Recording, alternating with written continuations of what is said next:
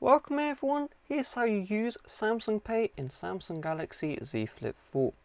So open up the Play Store, search up for Samsung Pay and make sure you download this into your device. In the future, Samsung Pay may be rebranded to Samsung Wallet, so if you only see Samsung Wallet, download that one instead.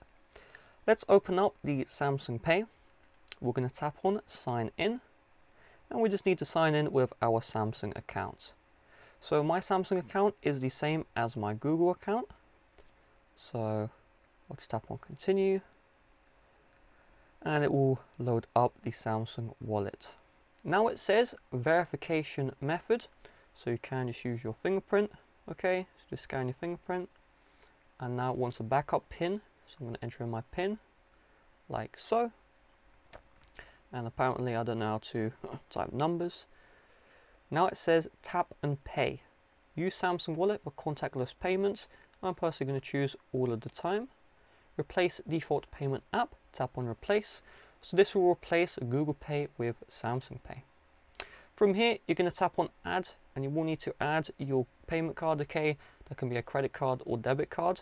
I'm not going to add mine mainly because, you know, I don't want to make this video too long. Once you've added your card, tap on the menu tap on the settings and from here tap on quick access. Just make sure that access locations you have all of this stuff set okay and what that means is in order to use Samsung Pay you just slide up from the bottom and then it will bring up your cards you put your phone near the reader and you'll be good to go.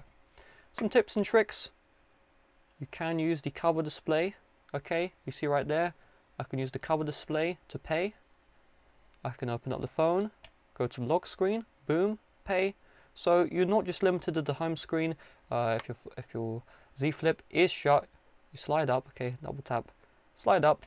Uh, probably will ask for your fingerprint, enter that one in, and just like that, you're on your way paying, even if the phone is closed.